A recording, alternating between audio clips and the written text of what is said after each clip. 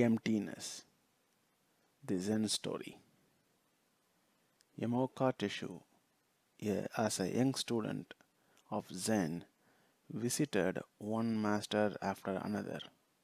One day he called upon Dokuon of Shokoku.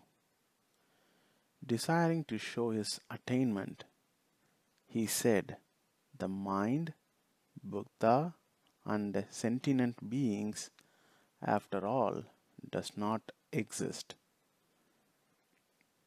The true nature of phenomena is emptiness.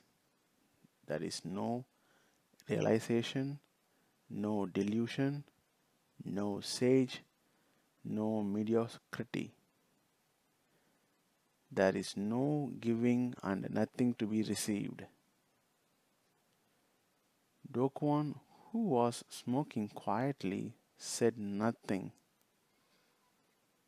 Suddenly, he whacked Yamaoka with his bamboo pipe. The youth jumped, seething with anger.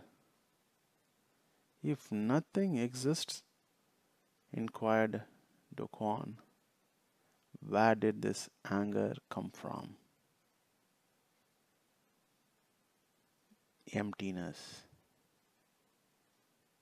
Thanks for listening.